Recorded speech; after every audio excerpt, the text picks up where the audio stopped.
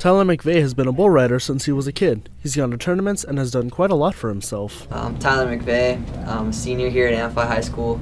Uh, this is my first year riding professionally. I've been an amateur pro for five years now. Uh, I've been competing for high school rodeo since I was a freshman.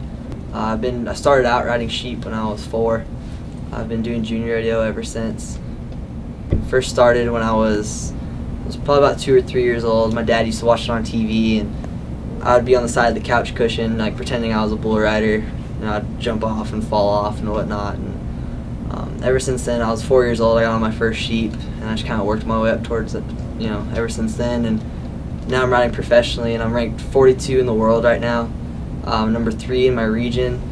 And for the permit standings, basically like your rookie of the year standings, I'm third in the world right now for that.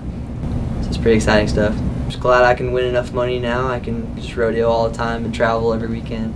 So it's always a plus.